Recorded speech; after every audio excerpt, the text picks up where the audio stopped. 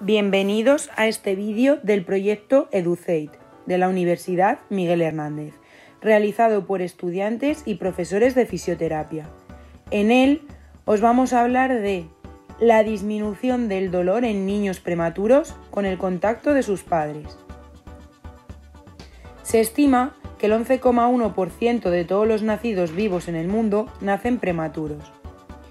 El nacimiento prematuro es un nacimiento vivo que ocurre antes de las 37 semanas completas de embarazo. Debido a esto, dichos bebés se someten a múltiples intervenciones quirúrgicas necesarias, por lo cual están muy expuestos al dolor. Dicho dolor puede influir en el desarrollo neurológico y en las respuestas de los diferentes sistemas principales que componen la respuesta al dolor en etapas posteriores de su vida. El objetivo es determinar la efectividad del contacto y la participación activa de los padres en las intervenciones, reduciendo el dolor causado por los factores de riesgo que conlleva la prematuridad. Para buscar información científica de calidad, hemos utilizado tres revisiones sistemáticas de los siguientes autores, que incluían un total de más de 50 estudios sobre este tema. Los resultados principales son los siguientes. El método piel con piel es una alternativa a la incubadora, que ayuda a disminuir el llanto y la frecuencia cardíaca.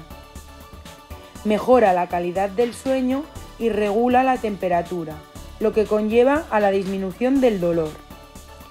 La lactancia materna es más eficaz que el chupete para disminuir el dolor y calmar a los bebés.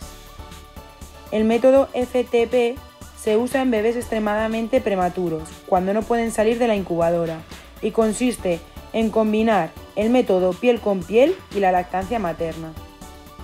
El resultado de estas técnicas es la disminución del dolor de los bebés y la disminución del estrés de los padres. Así que recuerda, los tratamientos que han sido efectivos para reducir el dolor en bebés prematuros son el método canguro, también llamado piel con piel, la lactancia materna y el método FTP. Os esperamos en el siguiente vídeo de EduCate de la Universidad Miguel Hernández.